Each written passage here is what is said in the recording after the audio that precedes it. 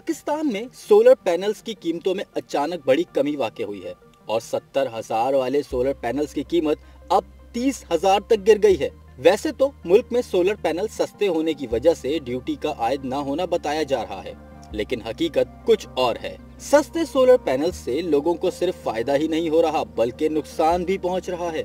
अंदर की कहानी अब सामने आई है, जिसमें हैरत अंगेज इनकशाफात हैं।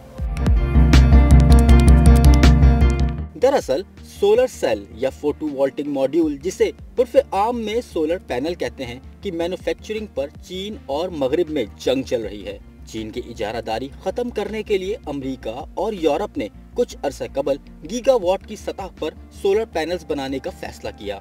मगरब का इरादा था कि गीगावाट की सतह पर पीवी मॉड्यूल की तैयारी की जाएगी और अमेरिका और यूरोप में मकामी तौर पर तैयार करदा सोलर पैनल्स फरोख्त होंगे।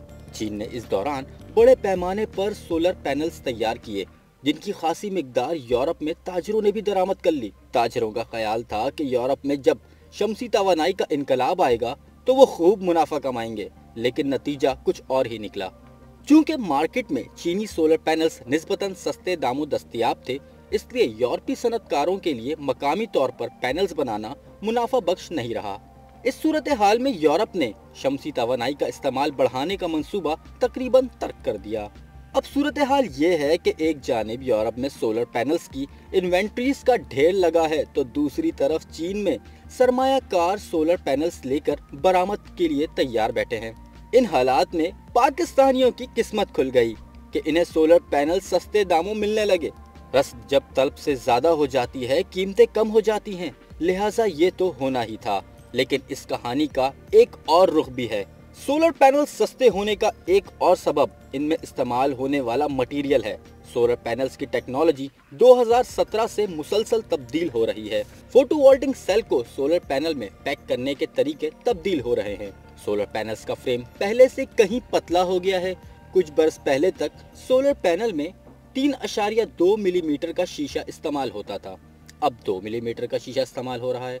हाफ़ कट फोटोवोल्टिक सेल का इस्तेमाल आम हो गया है। दोहरे शीशे की वजह से भी सोलर पैनल की ताकत में इजाफा हुआ है। हाफ़ कट सेल मॉड्यूल में अब आम तौर पर पिछले शीशे में तीन सुराख होते हैं, जिसकी वजह से वो छोटे साइज़ के साथ ज़्यादा बिजली पैदा करते हैं। आजकल तकरीबन तमाम बड़े सोलर पैनल सामने और अकब में दो मिलीमीटर के शीशे के साथ बाइफेशियल डबल ग्लास पैनल इस्तेमाल करते हैं।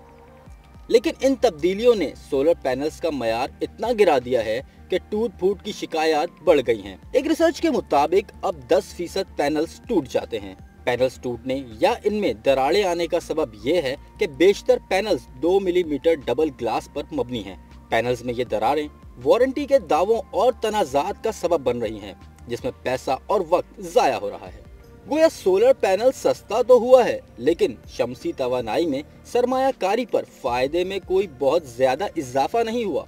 इस सूरत हाल में सोलर पैनल की सनत में आवाज़ें उठ रही हैं कि कीमतें मजीद कम करने के बजाय मैार बरकरार रखने पर तोज्जा दी जाए।